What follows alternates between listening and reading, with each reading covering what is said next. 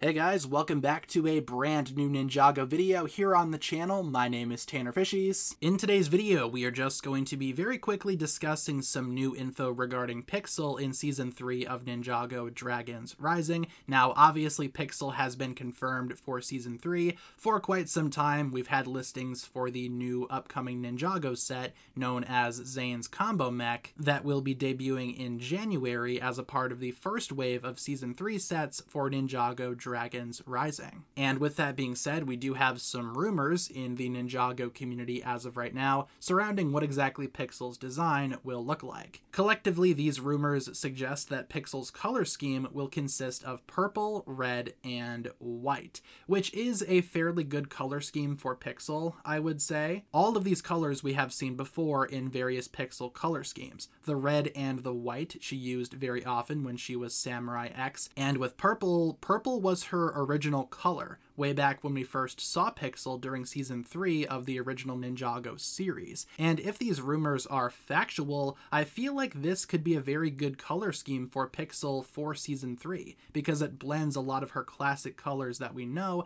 and combines them into one color scheme. I am especially looking forward to seeing purple back because, again, that was her original color. I do know that some folks out there might be a little bit disappointed by this because obviously if PIXAL will have this color scheme, it's very clear that she will not be utilizing her Ninjago core design for Dragons Rising, which was a very popular fan theory for a while, because naturally a lot of things from Ninjago core made their way into Dragons Rising. Instead, she will more likely than not have a purple, red, and white color scheme. And again, I think that is very cool. With that being said, though, that'll pretty much wrap it up from my thoughts here. Feel free to leave all of your thoughts down below in the comments. What do you think about this new rumor suggesting a new PIXAL design for Season 3 of Dragons Rising? Do you like it? Do you not like it? Would you have preferred it if PIXAL retained her design from Ninjago Core? Leave all of your thoughts down below, and thank you so much for tuning in. If you guys enjoyed this one, feel free to like and subscribe, do all that fun stuff,